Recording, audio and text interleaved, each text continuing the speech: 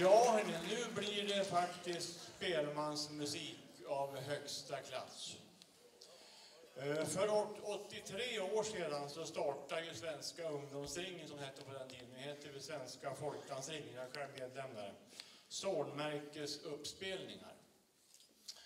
Och eh, nu har vi den stora glädjen idag att få presentera en spelman som i år har fått den högsta utmärkelse man kan få, nämligen Zornmärket i guld.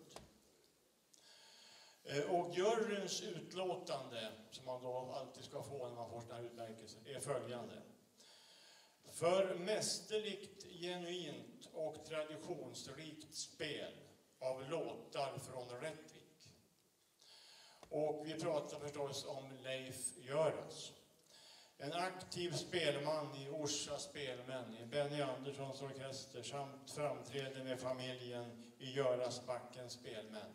Född i Rättvik, vars far var spelmannen Göras Anders Persson från Östbjörka utanför Rättvik.